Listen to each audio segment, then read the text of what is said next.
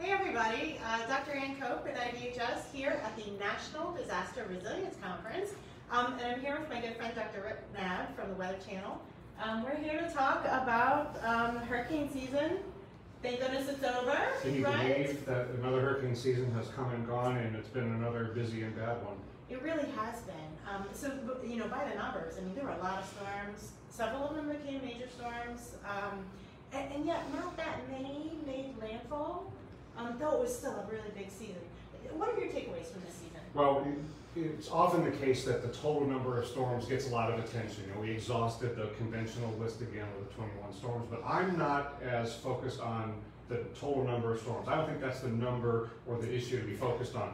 It's like you say about where did they go and what were the impacts.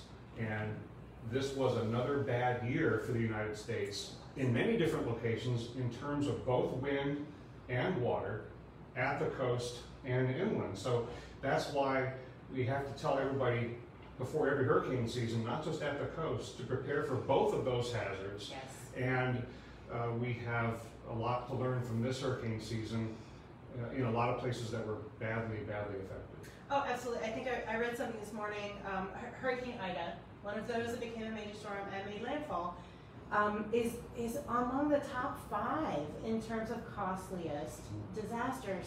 Um, a, a terrible outcome from from Ida, and it went up through Louisiana. Many people think about Ida in terms of Louisiana, but then she went on to cause um, problems throughout much of the Northeast. Um, I love your takeaway about it doesn't matter where exactly you're from, you should be prepared. Um, are there any other things that we should tell people um, in terms of you know thinking ahead for next hurricane season? Well, it's hard to avoid there being a lot of damage and unfortunately fatalities when a Cat 4 comes ashore. And I feel so badly for the folks in Louisiana who have had to endure multiple hurricane and major hurricane strikes over the last few years.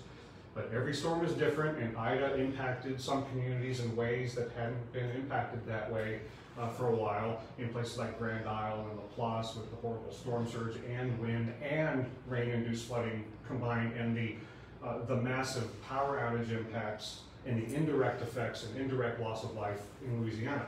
But then the combination of Ida and that frontal zone in the northeast that produced rainfall rates that I hadn't seen in a long time that just held together going from Pennsylvania through New Jersey and New York City and the devastating impacts, not just in New York City, but in a large part of the Northeast from inland flooding. So one of the big takeaways that I've got from this hurricane season is that we all need to do more to prepare for inland flooding. That involves everybody being insured for flood, thinking about the flood risk of where you're going to buy or rent, uh, closing schools preemptively. Maybe we need a major flash flood watch instead of just a normal flash flood watch when we see this coming, because meteorologically we saw it coming.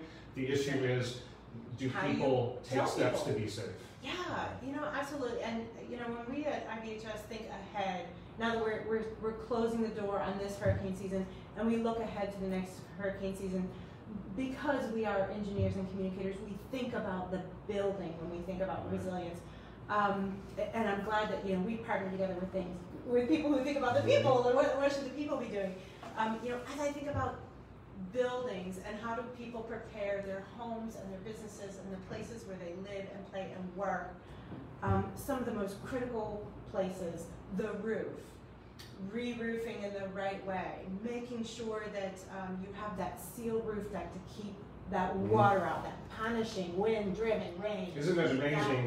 You guys at IBHS showed me this firsthand. Yes. How taping the roof can make all the difference. I mean, something that doesn't cost all that much can end up saving tens of thousands of dollars just by keeping the water out of the structure. Oh, absolutely. And when we think about um, the affordability of things like that, affordability of the sealed roof deck, I love for people to think about affordability not just in terms of purchase price on day one, but in terms of cost of ownership. What's going to be the purchase price? What's going to be um, the cost of your insurance over the life of the, the house, and how are you going to be able to maintain it?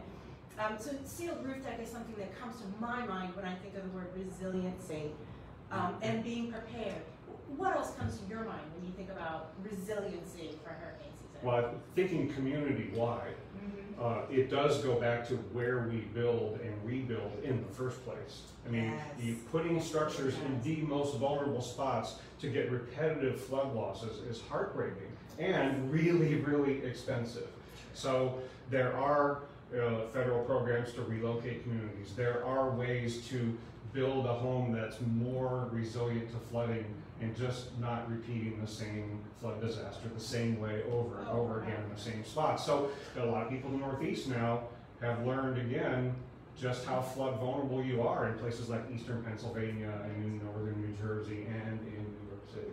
Yeah, absolutely. And, you know, in so many ways, um, a lot of the community's ability to be resilient is tied back to whether they have adopted and are administering a modern building code.